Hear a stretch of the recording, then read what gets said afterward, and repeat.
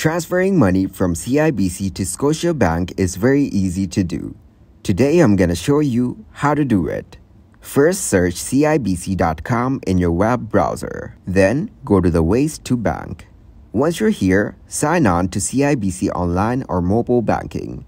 From the menu, select Global Money Transfer.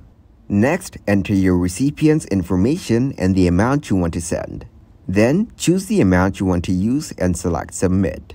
After that, your recipient will get the money in 1 to 3 business days. Once you've completed these steps, your money from CIBC should be transferred directly to your Scotiabank.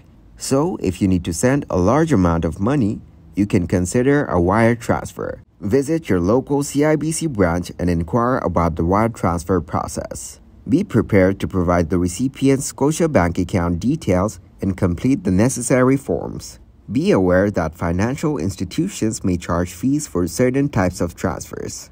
These fees can vary depending on the amount and the type of transfer you choose. It's advisable to verify the fees and conditions associated with the transfer method you select.